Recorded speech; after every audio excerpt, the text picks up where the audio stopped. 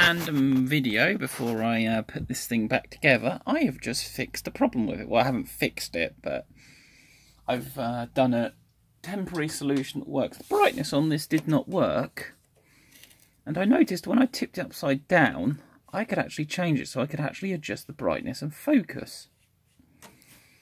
But I banged on it and I couldn't, and it was only when it was upside down, only when I tapped on it could I get it to do the brightness like this. Before that, was at full brightness, completely out of focus, all that jazz.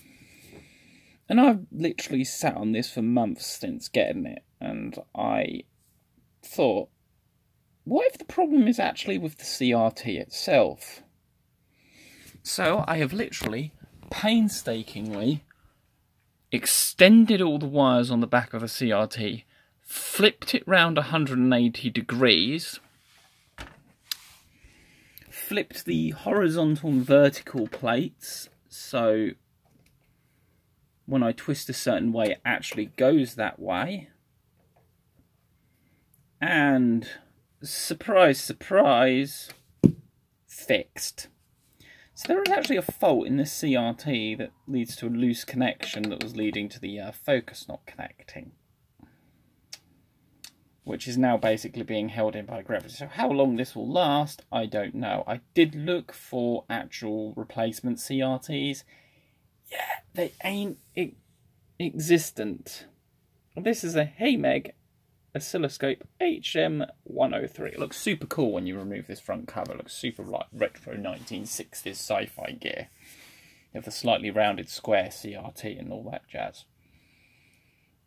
But I just thought that was a nice little teaser. I haven't put up a video for a bit, so and I've certainly wanted to. I just haven't had the time.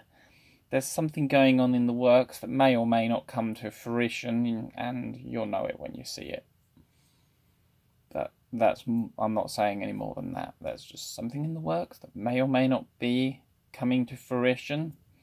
The news wasn't so good today, so yeah and I took a day off work for it, so it's big.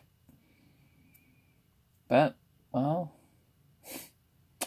if nothing eventually comes of it, well, it didn't work out. If it does, you'll know it when you see it.